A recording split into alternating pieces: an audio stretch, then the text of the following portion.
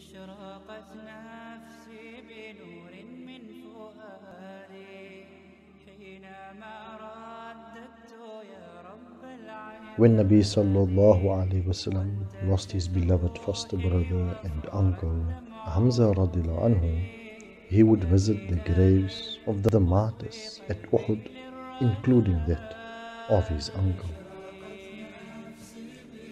Nabi sallallahu alayhi wasallam would remember his beloved wife Khadija anha after her demise, would speak highly of her and would mention her often. Remember those who have passed away with du'as and acts of goodness in their name and on their behalf. Sa'ad ibn Ubadah anhu dug a well on behalf of his late mother